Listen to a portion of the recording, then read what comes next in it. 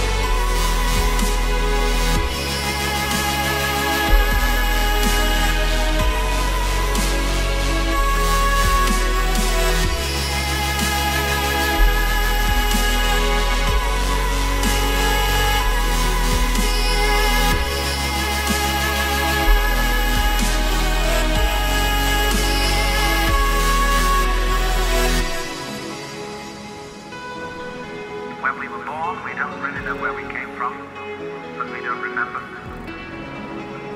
And we think when we die, that's just going to be that. Some people console themselves with the idea that they're going to heaven, or that they're going to be reincarnated, or they're going to summer land or something else. People don't really believe that. But for most people, it's plausible. The real thing that haunts them is that when they die,